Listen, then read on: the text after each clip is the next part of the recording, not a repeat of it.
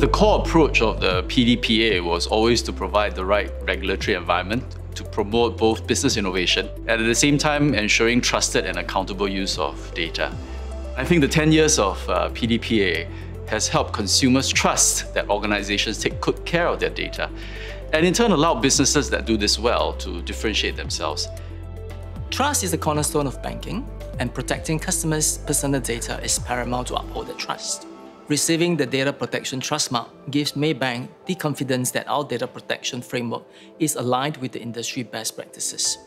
As a human resource management system provider, Infotech holds and processes customers' data all the time. The Data Protection Trust Mark helps us to build trust with customers and smoothens the contract negotiation process.